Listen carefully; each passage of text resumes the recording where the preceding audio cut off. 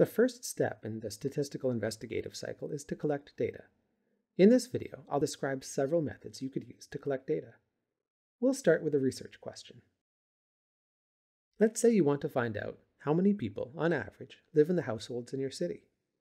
And here is a view of your city. Let's zoom in just a bit to get a better sense of what the city looks like. So your first idea might be to visit every household and count the number of people who live there. This is called a census. A census is where you survey all the members of the population. In this scenario, all of the households. This method will produce perfect data, but actually surveying all of the households would take more time and resources than you have available. So what else can you do? So maybe you could step outside your house, and you see a bunch of people walking by. So you ask each of them, How many people live in your household? But before they can answer, you notice something. They all look a lot like you, and the number of people they live with will probably be similar to you and to each other. This method is called a convenience sample, where you survey people who are conveniently located. This has the benefit of being fast and easy, but the results you get will typically be not so representative of the overall population. So you should generally avoid using a convenience sample. Now, you want to collect data from a sample, so you don't have to survey the entire population. But not any old sample will do. Your goal is to get a representative sample. That is, a sample where the relevant characteristics of the members of the sample mirror the characteristics in the overall population. Let's think of some ways to get such a sample. Let's take another look at the city from overhead.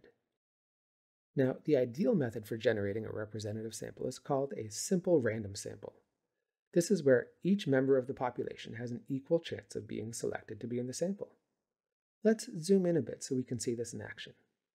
So what we need to do is assign a number to each household.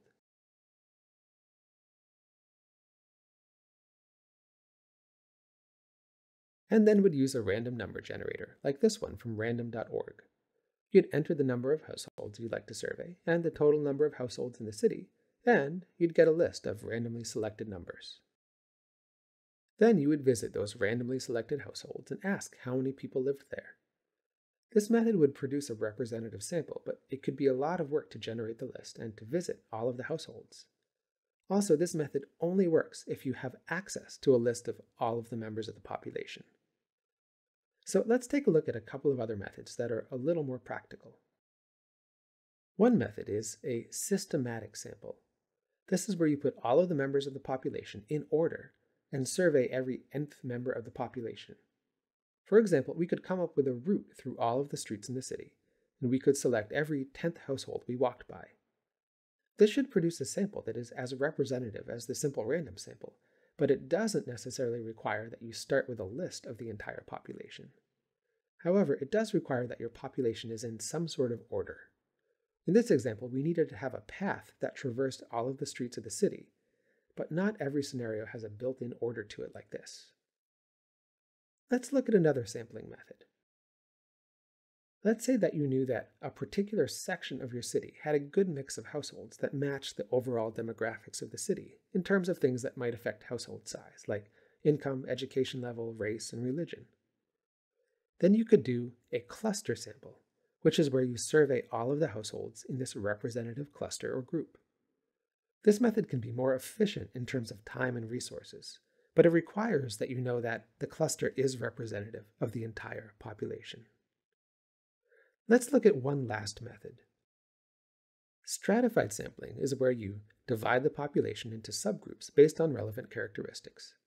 For example, it might be the case that a household size is linked to its income and religion. And let's say you have some information about the overall distribution of income and the proportion of adherents to various religions within the city.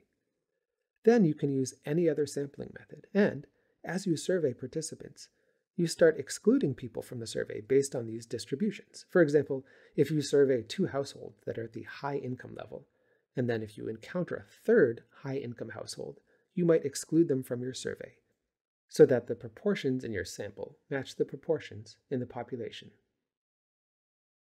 Now, let's summarize what we've seen here. We've been thinking about sampling methods. We looked at the census, the simple random sample, the systematic sample, the cluster sample, and stratified sampling methods. Each method has its own strengths and potential issues. And of course, you're not limited to just using one of these. It is common to combine multiple methods into a multi-level sample. For example, selecting a cluster and then systematically surveying every fifth household within the cluster. The key goal with all of these methods is to generate a sample that accurately represents the population, which lets you make an accurate inference about the population.